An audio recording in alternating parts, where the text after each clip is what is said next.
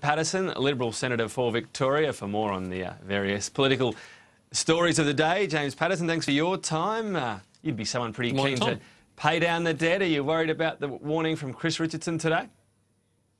Well, we should take this warning, as we've taken every other warning in this area, very seriously. Uh, gross government debt is now approaching $500 billion. It is a serious problem and it's at the top of the minds of everyone in government. Uh, it's something that we've tried to address and we've made some really meaningful inroads to while we've been in government, but certainly not as many inroads and as much progress as we would have liked to. Unfortunately, the Labor Party and the Greens and some on the crossbench have used the Senate to block a lot of the savings initiatives that the uh, Turnbull government uh, has proposed. So we haven't made as much progress as we like, but we hope to make more progress on it in this budget and coming budgets. Is it enough to just say you hope? Because this is part of the criticism from Deloitte Access Economics that you're relying on, for example, cuts to grants to the states that don't seem as though they might happen in some cases, other changes that are just stuck in the Senate. You've got to take responsibility and figure out another way, surely.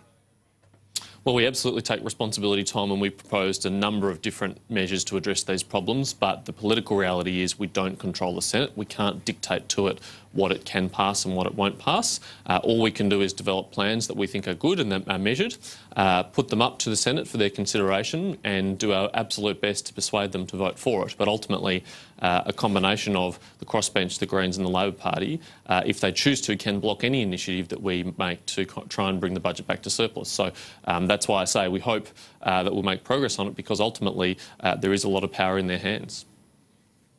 What about higher education? We know that there have been attempts to reform this and save money in the past that failed. Now there's going to be a pared back version of it.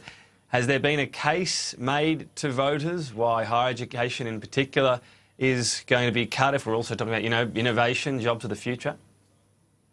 Well, as you would have seen in the papers this morning, Tom, the Education Minister Simon Birmingham is going to release a report on higher education, and overall it's a really positive picture.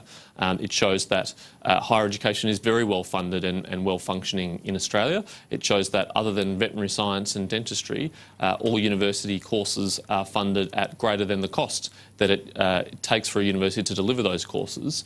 And it shows that in recent years, uh, the revenue to universities has grown faster than costs. So that's an overall that's a positive picture. I, am not privy to, and of course can't share with you, Tom, any uh, you know, decisions that might be in the budget about higher education. But um, that's an important starting point that informs the decisions that government will make.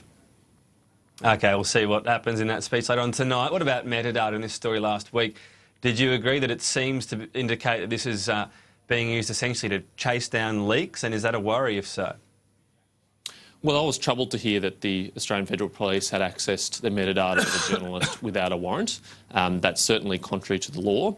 Uh, I was pleased that they self-reported and have referred this to an ombudsman and there's going to be an investigation. There should be an investigation because this should not happen and it is troubling for anyone who cares about a free society and a free press. So um, I'm very much looking forward to uh, a full explanation and a full investigation of how this breach occurred and why it occurred and if necessary uh, what steps are needed to make sure that it doesn't happen again.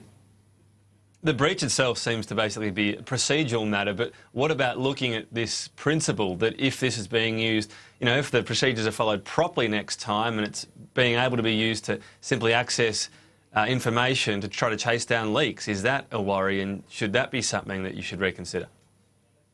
Well, if proper procedures were followed, then the AFP would have had to go to a court and seek a warrant and be granted a warrant before it could access the metadata of a journalist. Um, that's not actually anything new, Tom. Previously, uh, telecommunications companies stored, for example, the telecommunications metadata, just the, the phone metadata that's stored, and it was accessed under that kind of arrangement where a warrant was required. So um, that, that's not an unusual or new thing, and that is the appropriate thing. I mean, if it is necessary to access a journalist's metadata in particular, um, a warrant should be required to do so. It's appropriate that there's a judicial oversight of that. We don't want the police uh, just on their own, on a whim, accessing uh, the private and confidential information of a journalist.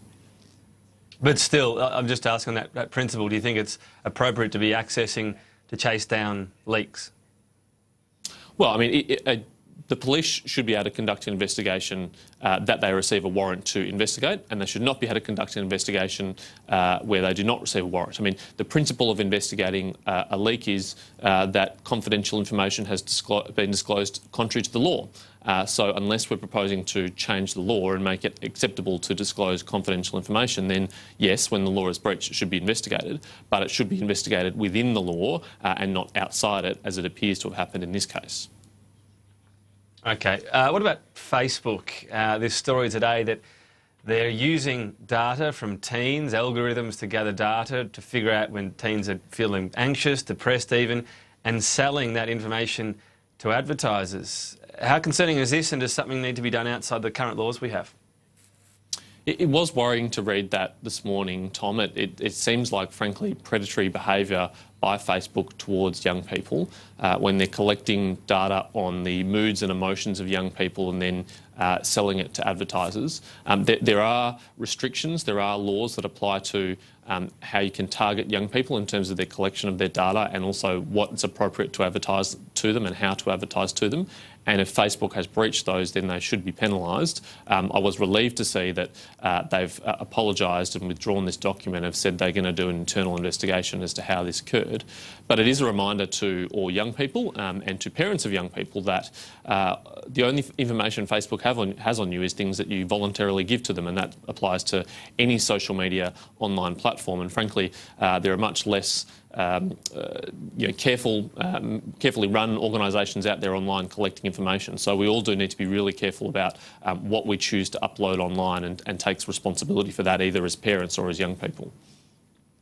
Mm, well, not, typically not too many people get through all those terms and conditions for some of these big companies. Uh, GST, there's a review going underway. Uh, this is a, a, fraught area, obviously, but if you're going to do a review and there'd already been sort of a, an outline plan to eventually get WA more money, does this review mean it could come sooner for WA? Well, Tom, what's different about this review uh, in contrast to previous reviews, it's not just a review of how or why uh, GST is distributed or how that may or should be changed, but what the impacts of the distribution of GST have on our productive capacity, on our productivity.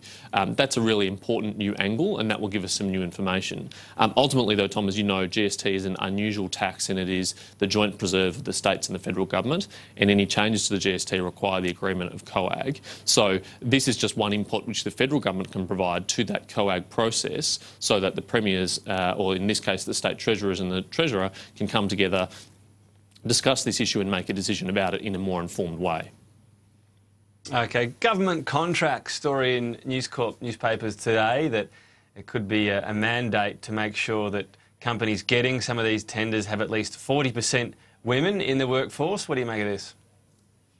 Well, this is um, potentially coming out of the, the Senate's uh, References Committee in Finance and Public Administration, Tom, which I'm a member of, uh, and had an inquiry uh, last week into this issue and examining this issue, and it's certainly something that people have proposed. Um, the federal government puts a range of criteria on the contracts and tenders that it puts out, um, for example, on environmental or Australian content, and so this may be one other that could be added to it.